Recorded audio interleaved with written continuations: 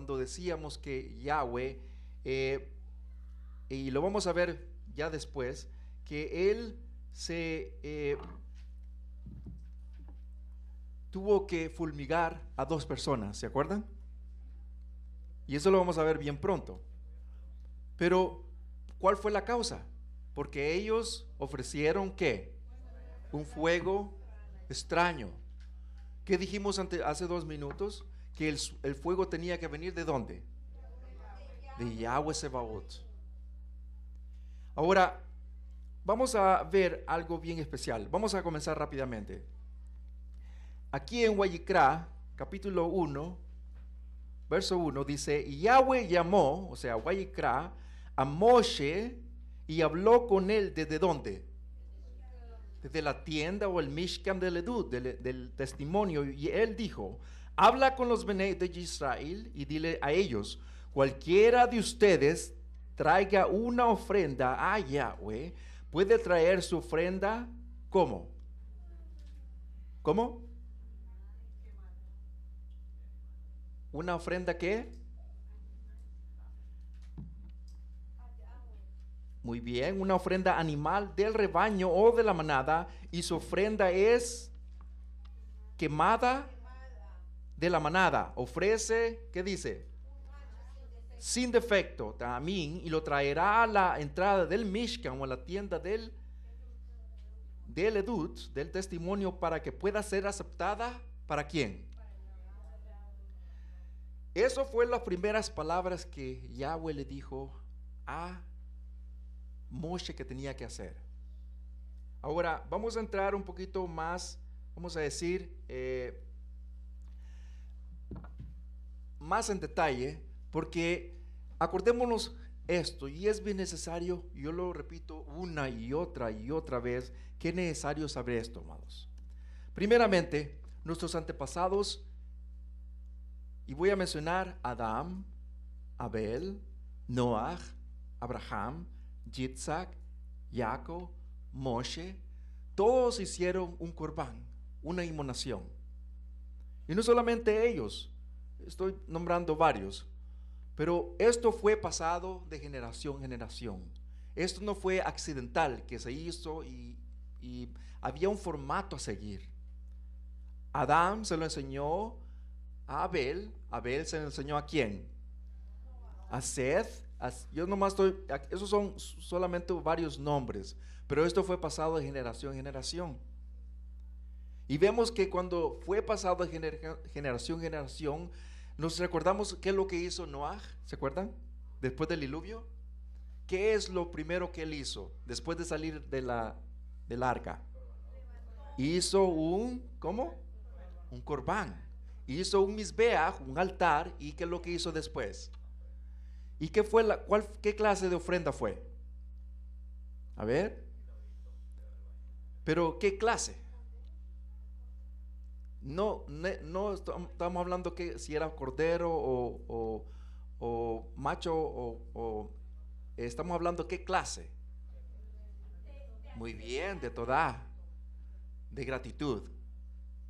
Ahora, quiero que, que tengamos esto en mente, amados no tengamos en nuestra mente de, decir eh, los sacrificios, como se dice, las inmolaciones, los carbanots.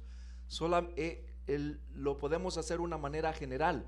Hay que, tener en nuestra mente que habían varias clases de corbán o inmolaciones. No confundamos la una a la otra. Le voy a dar un ejemplo. ¿Se acuerdan cuando eh, Shaul Rabbi Shaul, ¿se acuerdan que él hizo eh, un voto, ¿se acuerdan? Para ganarse uno de los Yahudim, ¿se acuerdan? Y que se raspó, ¿cómo se dice? Su cabeza y ya después hizo unos corbán, ¿se acuerdan? ¿Nadie se acuerda? Está en el libro de Hechos. Y después le puedo dar los versos. El punto es qué clase de corbán hizo. Si él mismo está diciendo después que Mashiach era el corbán. La pregunta es, ¿qué clase de corbán hizo? No se puede contradecir diciendo una cosa y haciendo otra cosa. Acordémonos que en el primer siglo todavía, cuando Shaul está hablando, todavía el, el, el uh, o la casa de oración todavía estaba de pie. Ahora, ¿qué clase hizo? Y no era, y ahorita lo vamos a ver eh, lo que estamos hablando. Primeramente, la pregunta para todos nosotros, amados, es ¿por qué Yahweh pide los corbán, las inmolaciones? ¿Las necesita Él? Vamos a ver unos versos rápidamente. No quiero mantenerme un verso, vamos a ver varios, pero quiero que tengamos en mente que esto es bien importante. ¿Por qué Yahweh pide un corbán si Él no necesita? ¿Qué es lo que dice en Salmos, de Gilín 50, verso 10? Porque todas las criaturas, si ustedes leen capítulo 50, amados, todo, todo, todo el, capítulo, se van a dar cuenta que Yahweh dice, que solamente vamos a ver el verso 10, porque todas las criaturas del bosque ya son, dice, o son mías, y las reses y las montañas y los bueyes. Si usted, usted lee todo el capítulo, está hablando de los corbanots. Él dice, yo no necesito nada de eso. No necesito las montañas. ¿Se acuerda que no era solamente eh, los corbán de animales, también era de grano? ¿Se acuerdan? ¿Y qué más? Y de harina, ¿se acuerdan? No necesito nada de eso, él dice. La pregunta, volvemos de nuevo, ¿por qué Yahweh? A ver. Para expiación. Para expiación, muy bien. Ahora, es necesario, amados, de que cuando nosotros estudiemos con otros ojos nuevos el Sefer Wayikra, de tener esto en mente. ¿Qué clase de corbán está hablando aquí? ¿Por qué? ¿Por qué dice esto y por qué dice lo otro? Tiene que haber algo codificado ahí con nosotros, hoy en el 2016. Vamos a ver primeramente que hay cinco clases de inmolaciones o corbanots. Cinco clases. Vamos a ver primero que es la ofrenda de Olá o la ascendencia de holocausto. Vamos a ver la segunda que es la ofrenda de Mijá, que es el grano o regalo de agradecimiento o de gratitud. Vamos a ver el número tres que es la ofrenda de Shelamín, que es la ofrenda de paz. Número cuatro es la ofrenda de Jatá, que es la culpa o la intención. Ya vamos a entrar una cada una de ellas. Y vamos a ver la número cinco, que es la ofrenda de Asham, que es la culpa. Y vamos a ver por qué. ¿Cuál es la diferencia de las cinco? Es bien importante. Ahora, vamos a ir primeramente la ofrenda de Hola o la ascendencia. ¿Por qué? Porque era una ofrenda a quién? No era para eh, nuestro Ajim o nuestro Ajod, era para quién? Para el Ser Supremo, Yahweh. ¿Y dónde se hacía? En el Mizbeach, en el altar de, de bronce. ¿Qué significa el bronce? ¿Nos recordamos? A ver, ¿qué significa el bronce? ¿Cuál es el simbolismo del bronce? A ver, nadie lo hemos visto anteriormente.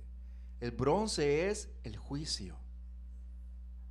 El bronce, muchas de las cosas, por ejemplo, eh, en el, en o en el altar donde se hacían los corbán, ¿era de qué dijimos? De bronce. Y en donde se hacía el lavatorio, donde se lavaban los, los pontífices, ¿era de qué? Bronce. Había muchos utensilios que eran de bronce. Y era un asunto, o sea, ¿de qué servía el asunto? Era voluntario. Vamos a ver un verso, amados. Leví, uh, Levíticos o Waikra 6.9. De esta orden a Aarón y a sus benéis, sus hijos. Esta es la Torah para las ofrendas quemadas, que significa hola. Es lo que sube, lo que sube sobre su leña para el fuego sobre, ¿dónde dice? El Misbeach. Toda la noche hasta la mañana, de esta forma el fuego en el Misbeach permanecerá ardiendo. Esto es lo que Yahweh decía, es una ofrenda hola de ascendencia. Ahora vamos a ver, y usualmente qué es lo que se, eh, eh, lo que se eh, inmolaba. Lo estamos viendo el lado izquierdo, ¿verdad? ¿Qué es lo que se inmolaba? No, un cordero, una oveja. Vamos a ver el siguiente, el número dos. La ofrenda de Mija, de regalo, de regalo de gratitud, agradecimiento. ¿Dónde se hacía? Perdón, ¿por qué? Perdón. ¿Por qué? Era una ofrenda a Yahweh. ¿Dónde? Allí mismo, en el Misbeach. Y el asunto era, una de las combinaciones era, ¿qué más? Era harina, ¿qué más? Aceite de olivo, ¿qué más? Incienso, ¿qué más? Sal. Pero eh, aquí cuando se hacía, esa era la número uno. La número dos esa era qué? Las tortas. Pero la torta no tenía que tener qué? Exactamente, no tenía que tener levadura. Y esas tortas también se le tenía que añadir. Todos los corbán tenían que tener sazonados con... Y vamos a ver eso también, amados. Número tres, la ofrenda de Shelamín.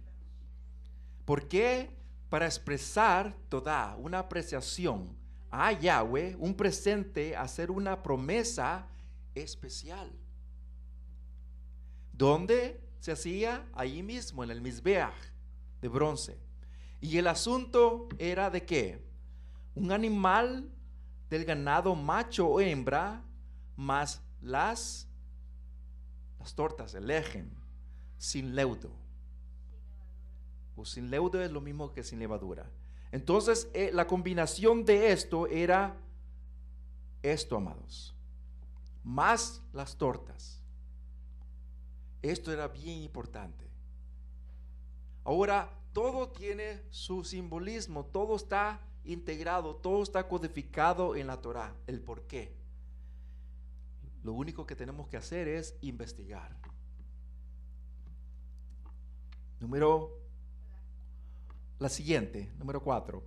La ofrenda de jatá, que es culpa o intencional.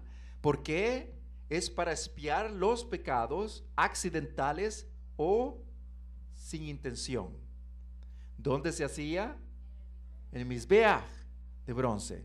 Y el asunto era, y esto lo vamos a, desmenuzar poco, poco a poco, el asunto era, depende quién sea el ofendedor. Nota, no hay ningún corbán para los pecados deliberadamente o conscientemente. En sí la pena era que ¿Se acuerdan que el que cometía, eh, el, que, el, que violaba el Shabbat, qué es lo que le pasaba? ¿Ustedes creen que tenía que tener un corbán? ¿Se acuerdan a la persona que se le agarró eh, recogiendo leña? ¿Se acuerdan? ¿Para qué quería la leña? Para hacer un fuego. Y en el, acordémonos que no es como hoy en día, acordémonos que todo Yahweh es balanceado, amados. Todo es un balance en el, Creador. Hoy en día, sinceramente, no es como los días de nuestros padres. Era una forma primitiva, lo podemos decir, usar esa palabra. Para hacer fuego, ¿qué es lo que tenía? Dijimos, leña, ¿verdad? Pero para obtener leña, ¿ustedes creen que no se hace trabajo? ¿Sí o no? Tiene que ir al lugar, tiene que físicamente hacer el trabajo, cortar. O sea, eso se, usa energía, se usa trabajo. Para llegar de un punto A a un punto B se necesita un trabajo y para hacer el fuego, o sea, es un trabajar, amados. Y por eso dice que Moshe le dijo, póngalo en la cárcel, vamos, voy a aprontar. Kadosh Barajú, ¿qué es lo que él dice? Dice que toda la, la eh, comunidad lo aprede.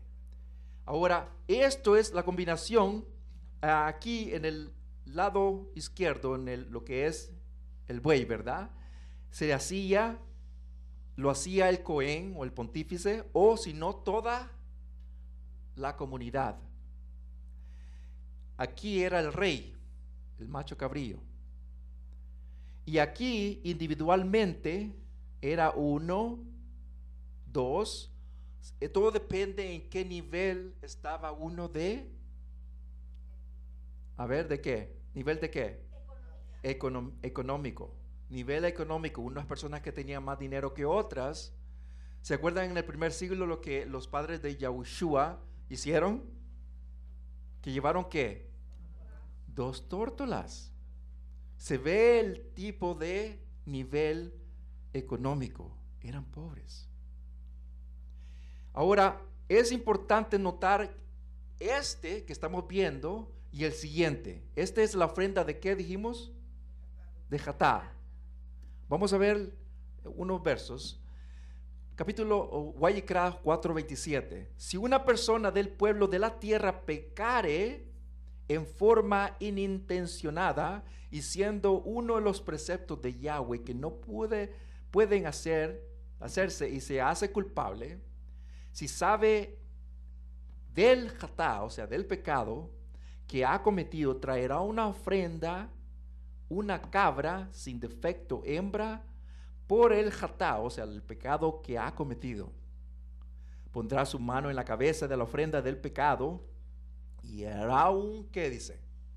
Un corbán, una, una ofrenda, una inmolación de jatá de pecado en el lugar para las ofrendas quemadas. ¿Dónde se hacía esto? Dijimos anteriormente. En Misbeach. Eso es bien importante, amados. En el Misbeach. Ahora, voy a hacer un paréntesis. Ustedes saben que hoy en día, en 2016, hay un templo de Salomón, esa es la palabra que yo uso. Hay un templo de Salomón en Brasil. A ver, ¿ustedes lo han visto? Está en eh, lo voy a buscar y lo voy a poner para que ustedes lo miren. Pero para mientras miremos esto. Eh, aquí estamos viendo rápidamente que el, este corbán o esta inmolación es algo que ellos tenían que hacer. La persona o el Cohen iba en los dos. Pero es importante también notar que, ah, que si ellos hicieron esto, tenían que diferenciar el uno la otro. No era, ¿cómo se dice? Eh, ah, no tenía que, no tenía que ser, o sea, en general, tenía que diferenciar el uno la otro. Por eso eran las direcciones, la Torah que se le dio a Moshe para que se les enseñase a los Koanim, a los pontífices, y así también todo el pueblo eh, supiese acerca de eso. Ahora,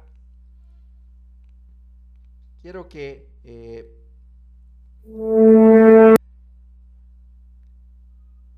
voy a desconectar aquí y quiero que miren, por favor, la razón por qué yo traigo esto es para tener una idea lo que está haciendo el mundo hoy en día, amados,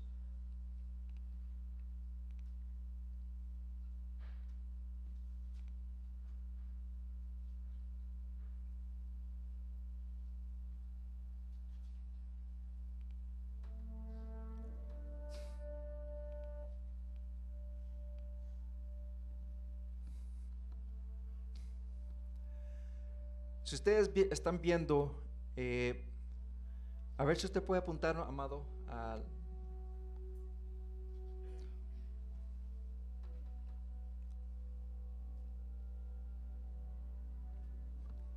Si ustedes están viendo ese templo, entre comillas, de Salomón en Brasil, es un billonario que se hizo la, el trabajo de hacerlo y pagó no sé cuántos millones para hacer eso.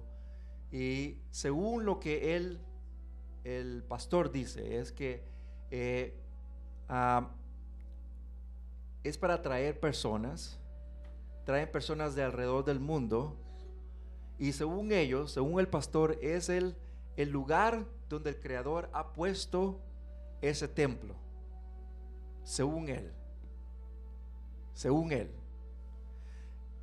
Mi pregunta para, ustedes, amados, ¿Ustedes creen que esto es lo que el Creador quiere, amados?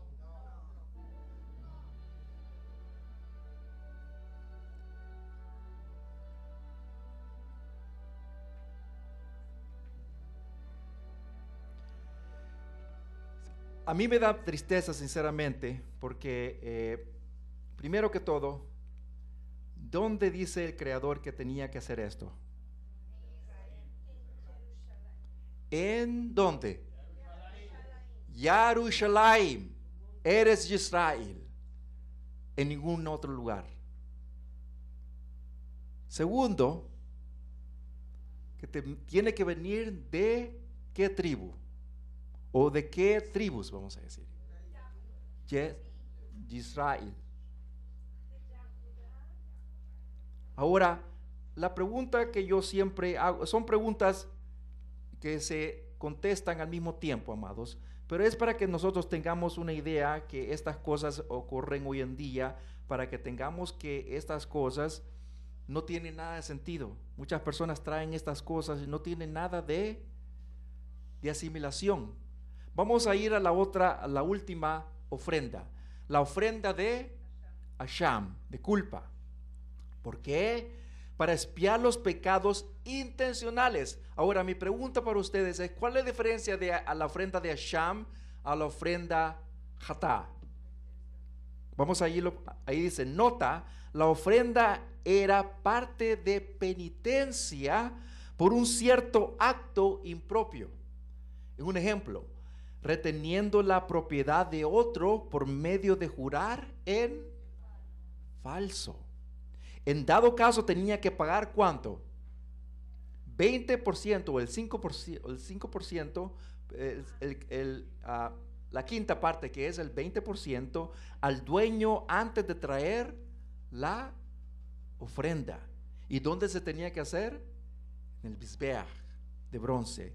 ¿Y qué es lo que, cuál es el asunto? Es lo que, lo que tenían que traer un macho animal sin defecto o ave. Ahora, esto es lo que estamos viendo de acuerdo a la Torah, la diferencia del uno la otro. Y la razón por que yo traigo estos, amados, es para que tengamos una idea, la diferencia de lo que nuestros padres hicieron y ya después cuando Kadosh Barajú le da las direcciones a Moshe qué es lo que tenía que hacer después. ¿Cuál es la diferencia de, las, de los corbán o las inmolaciones que nuestros padres hicieron? A ver. Nos recordamos qué es lo que hizo Jacob, qué es lo que hizo Abraham, qué es lo que hizo eh, a Jabel. ¿Se acuerdan? La mayoría de ellos eran devotos de agradecimiento, de gratitud, amados. Ahora, leamos esto. Guayicra o Levítico 7:4. Dice de esta manera: Los dos riñones, ¿qué más? La grasa que los cubre, que están en los costados, y la que cubre, ¿qué dice? El hígado, la cual él removerá con los riñones, el cual los hará subir en humo en el misbea o altar, como ofrenda hecha por fuego a Yahweh, es una, una ofrenda de culpa, de jatá. Ahora, esta ofrenda de jatá ¿Qué dijimos que era esta ofrenda de Jatá? ¿Pero culpa de qué? Inintencionalmente. Sin querer queriendo, como dicen. Muy bien. Ahora, ¿qué es? lo puse en rojo, ¿verdad? ¿Cuáles son las palabras en rojo, amados? Los riñones, la grasa y el hígado. Estas tres cosas se tenían que quemar completamente en dónde? En el bisbeach.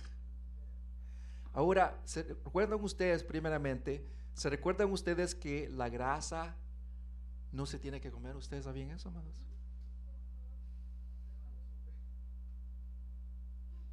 La grasa no se debe comer porque ¿a quién le pertenece? A Yahweh. Dice, no comerás grasa. Y nos preguntamos por qué tenemos colesterol alto. Y nos preguntamos por qué la presión está alta.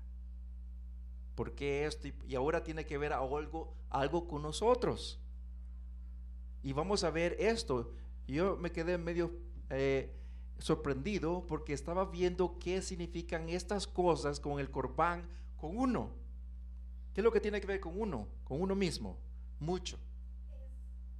A ver.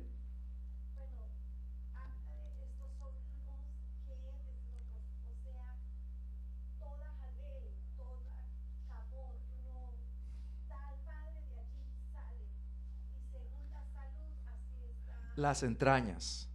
Lo que se le llama hoy en día como las entrañas. Vamos a ver uno por uno. Lo vamos a ver del hebreo, vamos a ver ejemplos. Porque el Ser Supremo dice que estas cosas se tenían que, ¿qué? Quemar en el holocausto, en la inmolación, en el Mizbeach. ¿Qué dijimos que de qué era el Mizbeach? ¿De qué era? ¿Y qué significa el bronce? El juicio. Vamos a ver primeramente el cebo o la grasa. El cebo simboliza el lujo, el levantar de la carne, o sea, el orgullo, en otras maneras. Vamos a ver Salmos 17, verso 10 y Ezequiel 34, 3. Se han encerrado en, se han encerrado en, y se encierran con su propia grasa o sus sentimientos endurecidos. 34.3 dice que ya coméis la grosura, dice, y os volvéis vestidos con la lana.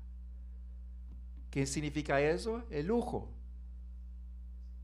Y esto es un ejemplo de muchos ejemplos en la Torah, los Nevin y hasta en el Brit. Nos damos cuenta que Kadosh Berahu dice que cuando nosotros vengamos aquí, amados, no solamente aquí en Shabbat, a Adán es Israel, a Kehilá, sino también en nuestras casas. ¿Cuántas tefilos hacemos durante el día? Tres. Una en la mañana, una en mediodía y una en la... Una día se llama, ¿cómo se llama? Pero una se llama Minja, ¿verdad? ¿Verdad? Una de ellas se llama Minja, ¿verdad? Ahora, si ustedes, eh, esto no es no hay juego, amados. Esto es entre usted y Kadosh Brahu.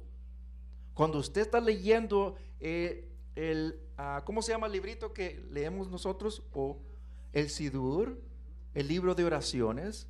La mayoría, por no decir todo, está conjugado con Tejelim, con salmos, con versos de, de los Nevín, de la Torah.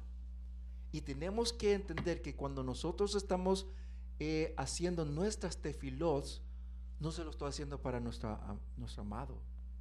Él tiene que hacer el suyo. Yo puedo pedir si está enfermo, eso diferente asunto. Pero cuando nos estamos conectando con Kadosh Brahu, con Yahweh Sebaot, esto es bien serio, amados. Porque nosotros somos el Bechtamidash. Por lo cual Yahweh dice, cuando tú quieres hacer conexión conmigo, enciérrate donde? ¿Qué es lo que hacía Daniel? ¿Se encerró en dónde? Mirando hacia dónde? A Yarushalayim, no al oriente, era al revés. Cuando él estaba en, en, Babilonia, estaba dando la espalda al sol. Porque al, si ustedes lo ven geográficamente, él estaba mirando hacia dónde? Yarushalayim. ¿Y dónde sale el sol? Atrás. Porque en medio está Babilonia. Entonces el punto es, amados, es que Kadosh Barajú dice que si usted quiere venir ante Yahweh Sebaot, uno tiene que quemar qué? ¿Qué es lo que se quemaba allí? Volvamos de nuevo. Los riñones, la grasa y el hígado. Y vamos a ver uno por uno. El siguiente. Los riñones. Los riñones, la fuente de las emociones carnales. Job 16:13. Sus arqueros me rodean, él, acuchilla, mis entrañas. Sin mostrar rajamín, derrama mi, mi hiel en la tierra. ¿Cuáles son las emociones que nosotros, nosotros tenemos? Muchas. ¿Y cuáles son esas emociones que usualmente tenemos nosotros, amados? Son buenas y malas, pero usualmente ¿cuáles son las emociones que tenemos? Las malas. ¿Podemos nombrar varias emociones? Duda, no firmeza, que es emuná o fidelidad. Cuando hay duda es porque no creemos, amados. Dijimos, oh, yo creo que no está bien. O sea, eh, algunas veces ponemos más confianza en el hombre que Kadosh Baruj Y eso ocurre que con, con todos nosotros, incluyéndome a mí. No debería ser así eso. Yahweh dice en su, en, su Torah que si estas cosas no te vendrán a ti, se las voy a dar a quién? A Egipto. Y eso ocurre por lo mismo. Porque mucha negatividad, amados. Estamos viviendo en un lugar, un, vamos a decir, un ambiente bien negativo y idolátrico. En todo lugar, vamos a ver, a, tomar un tiempo en el futuro y vamos a darnos cuenta que en el lugar que estamos viviendo es un lugar bien peligroso, amados. Y viene bien pronto. El siguiente, el hígado. El hígado es la fuente de la ira, el enojo, la orgullo y la fama. Lamentaciones 12, 11. Mis ojos están gastados de llorar, mi corazón está atribuido, mi fama ha sido echada a la tierra. Y ese es un verso de muchos, o sea, es un verso de muchos que, que está en todas las escrituras hebreas. La pregunta es, amados, ¿cómo queremos nosotros llegar a Kadosh Barajú si tenemos estas cosas en nosotros. En vez de que malas, las, las mantenemos en nuestro organismo. Nuestro amado Imanuyá me dio un verso que me, contentó porque tiene que ver con mucho lo que vamos estamos trayendo hoy en día. Usted sabe que todo lo negativo, eh, usted sabe que le, le afecta a su organismo. Usted sabe que, donde viene lo que es la hemorroides, lo que es la diabetes, lo que es la alta presión, lo que es el corazón, lo que es todo lo que nos afecta a todas las personas que usted mira en los hospitales, ¿usted cree que la mayoría es de comida? La mayoría, sí, pero hay una parte que tiene que lo que es el ruach. Porque como está usted, así va a afectar su organismo. Vamos a ver un verso de Barín 28, 47. Porque no serviste a Yahweh, tu ser supremo, con, ¿cómo dice allí? Con alegría y gozo, ¿en dónde? En tu leve, en tu corazón, cuando tenías tal abundancia de todo. Yahweh dice que nos va a traer lo opuesto. ¿Cuál es lo opuesto? Las enfermedades. Las enfermedades. ¿Usted cree que uno está alegre cuando uno está enfermo? ¿Cómo está? En tristeza, angustia, en duda, ¿qué más? Enojado por el doctor, en vez de estar enojado con uno mismo, y algunas veces nos enojamos con Kadosh Barajú. Y eso es la, verdad, amados, es la verdad. Yahweh tiene su razón de ser. Por eso cuando viene eh, el tiempo de estar triste, Él dice, tiene que estar triste. Si ustedes van a Eclesiastés, ahí dice tiempo de llorar, tiempo de alegrarse, tiempo de reír, tiempo de llorar. En el tiempo de Sukkot, ¿qué es lo que dice Yahweh? Y no dice, tú quieres, es un consejo. No dice, tienes que estar, debes de estar, ¿qué dice? ¿Cómo dice aquí? Alegre, en gozo. Y la razón es porque nos enfermamos, amados. Nos enfermamos, nos preguntamos, ¿por qué? Si, ¿Por qué me pasa eso? Si estoy guardando Torah. Es porque no nos hemos dado cuenta el secreto de las tefilots que es así como Yahweh dice que los pontífices, los Juanín, tenían que presentarse. Acordémonos que esto no era para Leví, amados. para la tribu de Lewit. En sí, capítulo 19 de Shemot dice que ustedes serán una nación, dice, ¿qué más? Una nación Kadosh y una nación de Koanim y Melechim y reyes. Ahí no dice tribu de, de o los primogénitos. Ahí dice todos. Todos. Cuando Kadosh Baruj hacía esto, eh, que quemaba las inmolaciones, era algo especial, amados. Y podemos entrar en, detalle qué es lo que pasaba, qué es lo que dice el Midrash, qué es lo que dicen los escritos hebreos.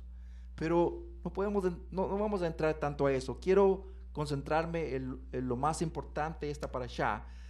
Eh, dijimos primeramente que el, cuando la persona entraba al Mishkan o la tienda de asignación, tenía que pasar primeramente por qué? ¿Cómo se llamaba esto? Lo primero. ¿Cómo se llama esto? El lado derecho, ¿cómo se llama?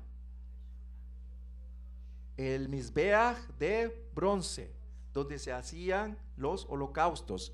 Después de esto tenía que pasar a dónde? A lavarse, porque esa purificación tenía que entrar donde después? Al lugar Kadosh. Amados, hoy en día ustedes sabían, y eso es la verdad, amados. Y eso es la verdad. No, no, nos, no nos engañemos a nosotros mismos. La mayoría, sinceramente, hagamos conciencia, no hemos entrado todavía aquí. Todavía estamos aquí, mire. Y le voy a decir por qué. Todavía tenemos duda de lo que todos estamos haciendo. Todavía tenemos duda quién es el Mashiach que nosotros creemos. Todavía decimos si es el, el, el, David o es el, o es el Coanín o el rey. No, todavía estamos dudando, amados. Tenemos que estar firmes, tenemos que tener una fundación, porque esta fundación ustedes se la va a llevar a una persona que viene a la EMET. Tenemos que estar con firmeza. Todavía estamos dudando quién es. Y eso lo deberíamos de ya de pasar, amados. Les voy a dar un ejemplo, amados. Les voy a dar un ejemplo de lo que estamos hablando. Quiero que leamos, por favor.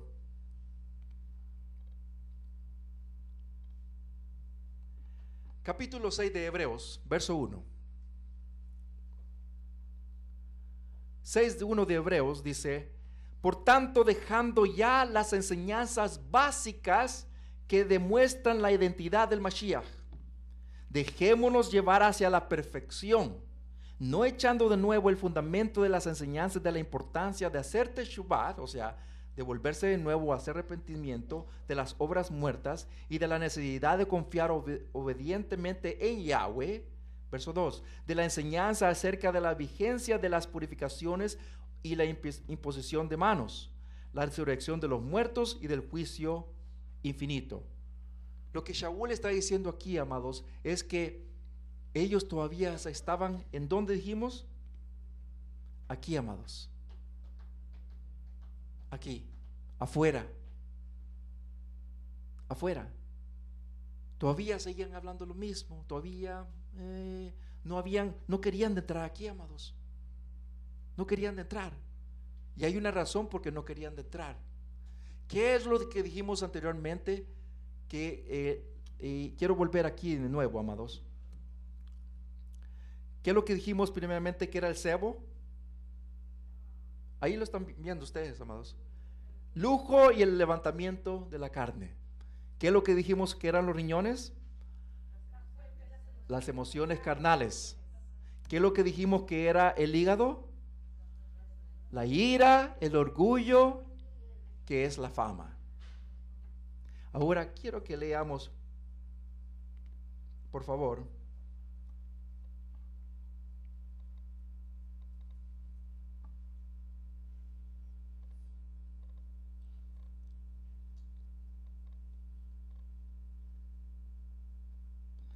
Primera de Corintios 3, verso 1, por favor.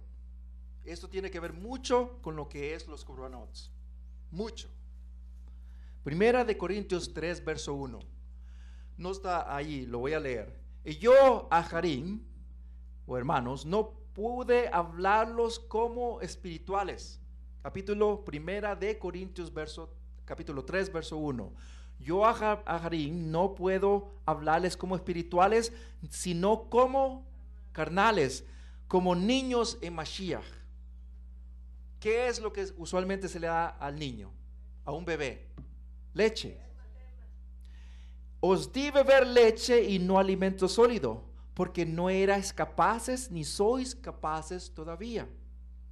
Porque aún sois carnales, dice.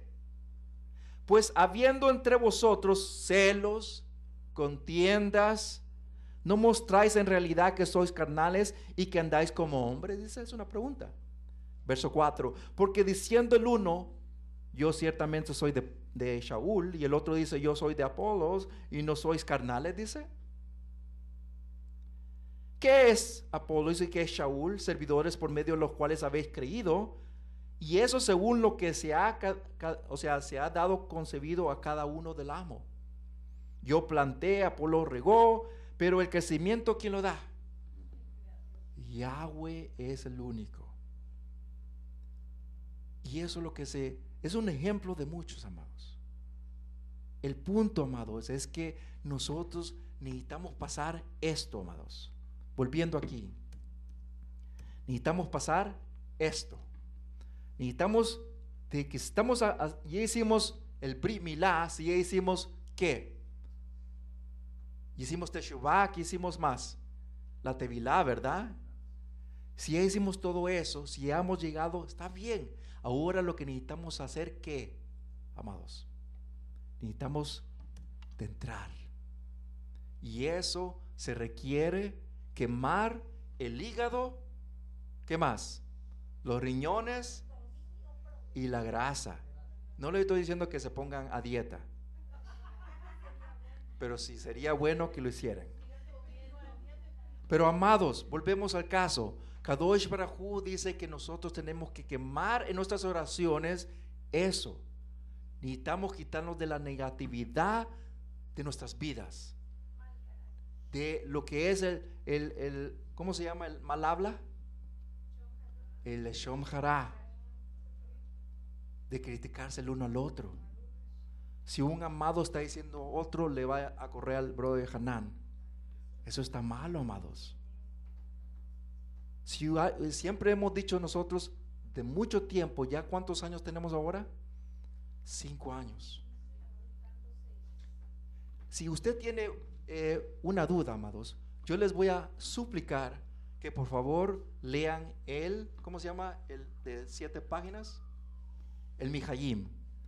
Léalo y léalo y léalo y léalo. Porque la mayoría no, lo han analizado. Ahí está todo lo que nosotros hacemos, amados. Ahí está quién es Mashiach, el que creemos. Ahí está. Y todavía dudamos. Si tiene una pregunta, amados, venga con Morello Hanan o, que venga con hablarlo con los Muerim y vamos a hablar eso. Pero no podemos andar así. No vamos a crecer, amados. Nos vamos a quedar estancados. Kadosh Brahu quiere que escalemos cada momento, cada día, ¿qué? Una escala, un nivel. El que quieres, el que es Kadosh se tiene que ser, se, tiene que quedar allí, dice, tiene que hacerse Kadoshim. Y el que es eh, sucio, que se ensucie más. Levítico, Lewin o Levíticos o Guayicra 2.13. Sazonarás con sal toda ofrenda. No omitas de la ofrenda del sal de pacto con tu ser supremo, sino que ofrece la sal con todas tus... ¿Qué es la sal, amados? ¿Qué es la sal? Es un sazonador, ¿verdad? Primeramente, las propiedades de la sal es esto. La sal, ¿qué hace? Preserva, irrita y qué más? Y purifica. Y eso es lo que tiene que hacer la sal es la Torah, amados. La sal es la Torah. ¿Dónde se ponía la sal? Dice la Torah en Wayikra. Se ponía en dónde? En el corbán. En todos los corbán. Por eso dice aquí, dice, sazonarás con sal algunas corbanots, toda ofrenda. Y no la omitas, o sea, no le quites. Todo tiene que ser sazonado con sal. ¿Por qué? Porque en los tiempos antiguos no había refrigeradores, amados. ¿Cómo se preservaba la carne? Con sal. Ese era el refrigerador antiguo. Y en verdad, amados, no solamente la sal en el lado literal, sino también nuestras vidas. La Torah hace estas tres cosas con nosotros. Para que nos quitemos lo que es la grasa, lo que es, ¿qué más? El hígado, los riñones, tiene que haber esto, amados. Tiene que preservar, irritar y purificar. Ahora vamos a ver unos versos. Matitillá 5:13. Ustedes son la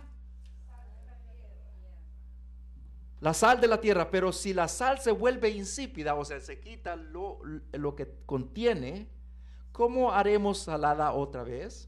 No se puede. No sirve ya para nada, sino puede ser echada fuera y ser pisoteada por los hombres. El sabor que nosotros tenemos, amados, ¿cómo se llama ese sabor? La Torah. El Ruach que Yahweh nos ha dado, que es la luz. Es la Torah no ha sazonado nuestras vidas, amados. Marcos, o Gileel 9:49, porque todo será salado en el fuego y todo corbán, o sea, inmolación, será salado con, así lo dice la Torah, es una referencia. La sal es buena, pero si la sal se vuelve insípida, dice Yahushua, ¿con qué se, se salará? Allá hayan ustedes sal y estén en shalom los unos a los otros. Y esto es lo que Kadosh Baruj quiere, eso es lo que Mashiach eh, hacía eco de la Torah. Que tengamos que tener todos nosotros, con nuestras familias, con nuestros trabajadores, con uno mismo, ¿cómo se llama eso? Shalom. ¿Cómo creemos nosotros que Kadosh Baruj quiere, o sea, nos oiga nuestras tefilot si no estamos en shalom, amados? Si estamos en angustia, que no tenemos para el próximo mes para pagar. ¿Dónde está la limuná? ¿Verdad? Kadosh Barajú dice que si nosotros nunca he visto a un Sedequim que pida mendigando lejem. ¿Usted cree que él va a mentir, amados? Nunca, especialmente en este país. Nos va a bendecir, pero nosotros tenemos que hacer nuestra parte. Y esto viendo lo que es el Shabbat. Muchos de la mayoría no están aquí, amados. Y eso es por falta de emuná. A mí me dicen, pero amado, pero eh, eh, eh, no hay. Sí, amado, pero uno tiene que hacer la parte para que Yahweh haga lo demás. ¿Dónde está la emuná? Vienen las fiestas y ¿qué es lo que pasa? Lo mismo. ¿Cuánto tenemos para todo el año? O sea, viene cada fiesta. ¿Ustedes creen que no es sabio pedir las fiestas un año adelante, hermanos? Sí, es sabio. Pueden pedir a nosotros las, fechas y las podemos dar. De, de, hecho, de antemano estamos haciendo ya los calendarios para ver cuándo cae y lo pedimos. Yo siempre pido las fiestas un año en adelante, para que cuando venga ese tiempo, ni en pintura me van a ver.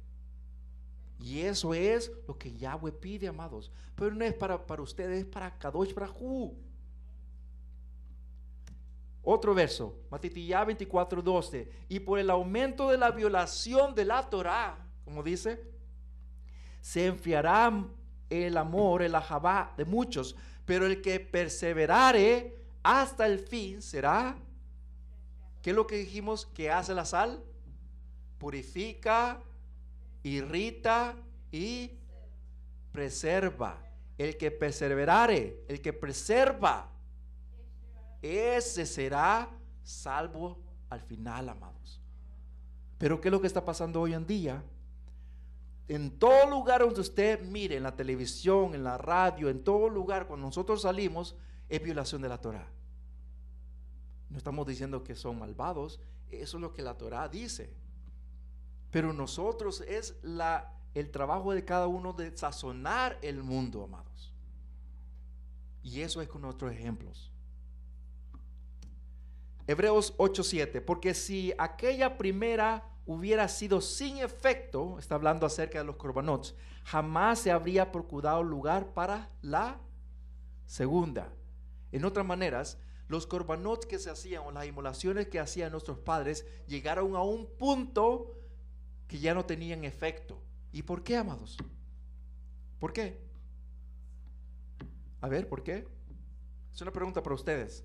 ¿Por qué ya no tenían efecto los corbanots, las inmolaciones? ¿Quiénes? Las personas. Las personas. Capítulo 8 de Hebreos y capítulo 10. Léalos. Léalos, por favor. Ahí dice, porque hallando culpa en ellos, dice, no, no en eso. En ellos. ¿Quién? El pueblo.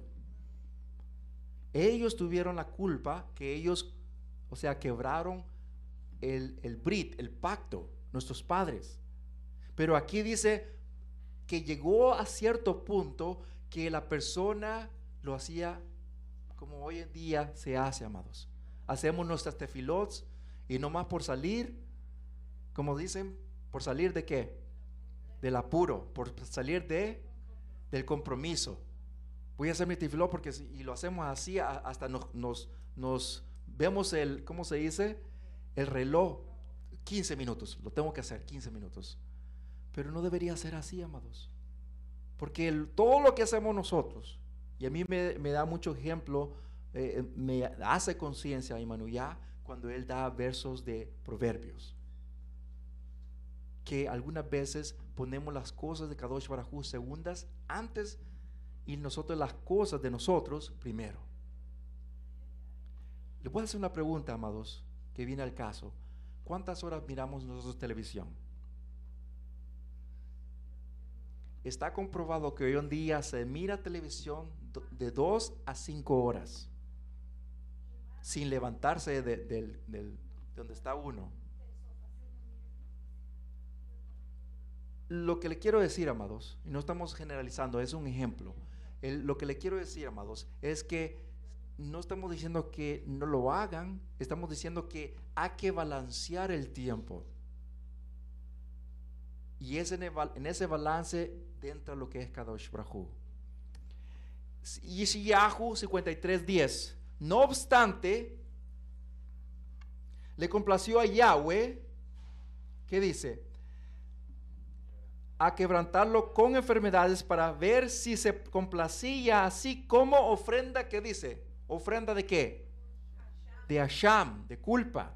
Y si, y si lo hace verá su cera y prolongará sus días, y su mano el deseo de Yahweh será cumplido. Capítulo 53 está hablando del sufrimiento de Mashiach, que se cumplió al pie de la letra. Pero aquí lo que está hablando en los versos eh, iniciales es que toda enfermedad se le echó a quién? Toda enfermedad. No solamente física, sino también del corazón a Mashiach. Cuando la persona venía al Cohen o al pontífice, él tenía que poner las manos en dónde? En el corderito. Y él tenía que pronunciar en voz alta y decía esto. Yo estoy poniendo las manos aquí porque este animal está tomando mi lugar. Y esto está en el Midrash, llamados. Yo estoy poniendo mis manos porque el animal o el cordero o el corpán que está tomando mi lugar en vez mía. Y él lo tenía que decir en voz alta. Y eso era a cada momento. Pero llegó a cierto punto que ya se había hecho un juego. Que traían los corbán como si te hubieran traído un pollo lo traían al corbán como si era un perro, dice en, los Nevín, los profetas. Lo traían como si fuera cualquier cosa. Ya lo hacían un juego. Wayikra 7.1. Esta es la Torah para la ofrenda de Asham, culpa. Es especialmente que dice Kadosh. Ellos inmolarán la ofrenda de culpa en el lugar donde ellos inmolaran la ofrenda quemada, y su sangre se salpicará contra todos los lados del Misbea. O sea, se tenía, si este era el de, cuatro, o sea, tenía, ¿cómo se llama? Eh, tenía eh, cachos aquí, ¿verdad? En cada lugar, y se eh, hacía en cada esquina, en el Misbea. ¿Por qué digo yo? ¿Por qué se tenía que hacer en los cuatro ángulos? ¿Por qué? Porque lo hacía en todo alrededor del mundo. Acordémonos que eran, ¿cuántas naciones lo hacían? 70 naciones. ¿De cuántos se acuerdan que lo hemos hablado anteriormente? En, en, el, eh, en Shavuot también se hacía eso, que eran 70 toros que se hacían y eran para las 70 naciones. También se hacía en Sukkot. 4.1. Yahweh dijo a Moshe, dile a los benet de Israel, si a uno peca inadvertiblemente contra alguno de los mismos de Yahweh, referente a las cosas que no deben ser hechas, si él hace alguna de ellas. En otras maneras, tenía que hacer, y ustedes leen todo el capítulo, tenía que hacer lo que estaba requiriendo la Torah, de traer un corbán. Vamos a ver 5 verso 15. Si alguno actúa